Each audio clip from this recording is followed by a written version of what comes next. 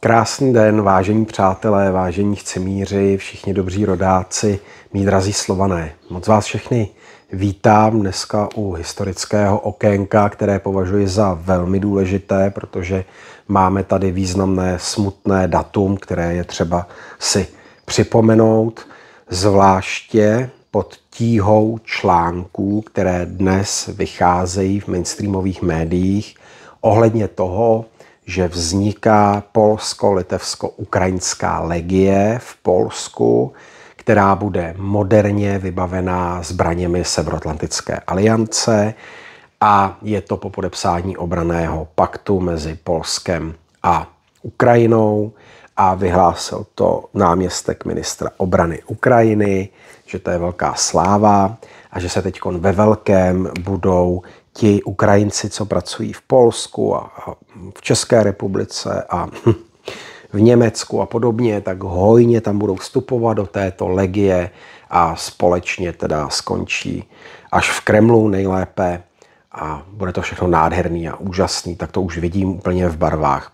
Myslím si, že teda více ironické datum pro oznámení se vybrat nemohli, protože 11.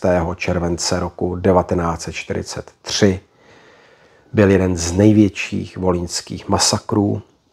Říkalo se tomu, nebo říká se tomu krvavá neděle a v 99 okrstcích, 150 vesnicích a obcích, přes 50 kostelů bylo vyvražděno, zaživa upáleno a podobně na 11 tisíc Poláků.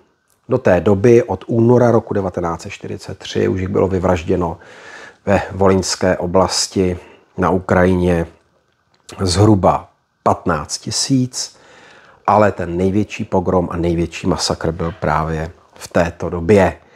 A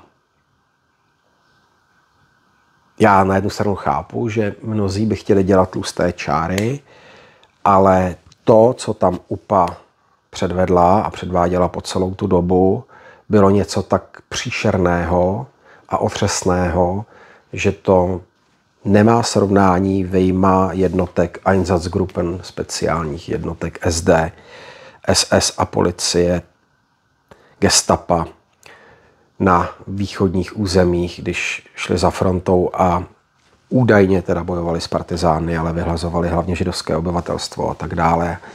A povraždili, postříleli a v plynových vozech zavraždili minimálně 2 miliony lidí, zvláště židů, cikánů, sovětů, Poláků a takhle bych mohl pokračovat, zkrátka všech národností slovanských, které nebyly hodny a Němci je považovali za Untermenschen. Tak uh, UPA tomu ještě jako dala takovou nadstavbu.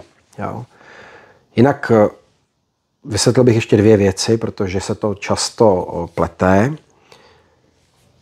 Banderovci byla politická organizace Stepana Bandery a měla zkratku OUN, nacionalisté ukrajinští, kdežto ta jejich ozbrojená složka, tak eh, to byla právě ta postalecká armáda, ta UPA.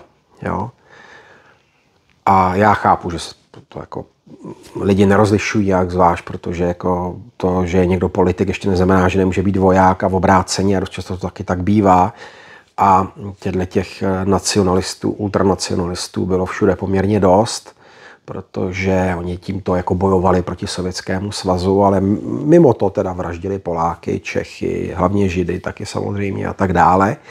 A tohle byla jedna z událostí, která právě při těch volinských masakrech, protože třeba mluvit v množném čísle, od února roku 1943 až a teď se historici jako někdo říká, že to byl červen, červenec, rok 1944, někdo říká duben, to není podstatné, zkrátka více než rok.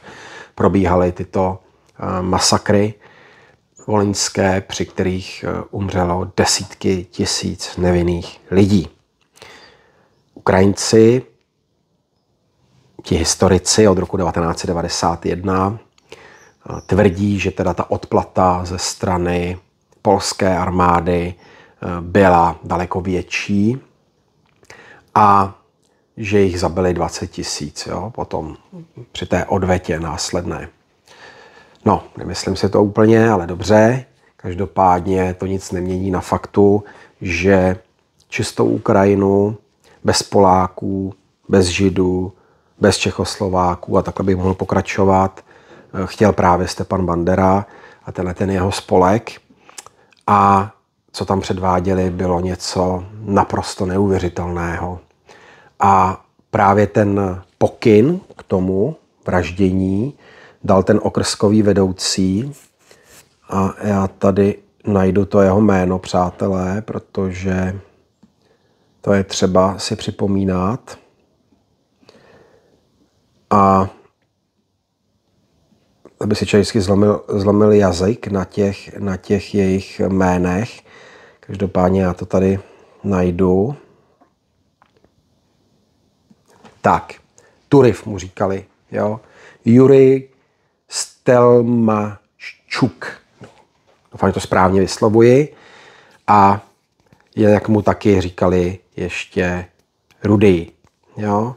No, přátelé, má se zapomínat, já bych byl rád, kdyby se na tady to nezapomínalo a naopak je třeba si připomínat tyhle ty záležitosti, protože dneska se to překrucuje všechno, tvrdí se nám to tady jinak, adorují se ukrofašisté, největší zásluh na to bezkonkurenčně má Porošenko, který je rehabilitoval, včetně SS Galicien a dostávají dneska výsluhy, já nevím, co všechno, no už jich teda moc nežije, jo, ale, ale ty nacionalistické organizace tam dále jako kvetou, i když ne tak úplně okatě, jako tomu bylo třeba během Euromajdanu, až teda do vyvrcholení, řekněme, roku 2019-2020, tak eh, stále tam jsou a jsou tam ve velkých počtech, akorát, že eh, jsou chytře mezi těmi partajemi, které jsou jakoby povolené, jo.